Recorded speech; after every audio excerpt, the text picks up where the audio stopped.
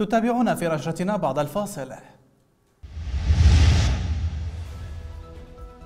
مسرور بارزاني يستقبل السفير الأمريكي لدى بغداد والأخير يؤكد أن بلاده ستواصل دعم الجيش العراقي والبشمركه لمواجهة تهديدات داعش.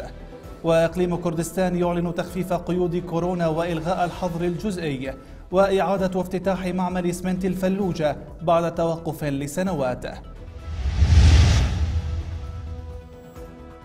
ومجلس السيادة السوداني يؤكد لا نريد حربا وإن فرضت علينا سننتصر. والبرهان في ولاية غرب دارفور بعد أحداث عنف قبلية. وإيران تتهم إسرائيل بالهجوم على منشأة نطنز النووية ونتنياهو يرد لن نسمح لهم بامتلاك قدرات نووية.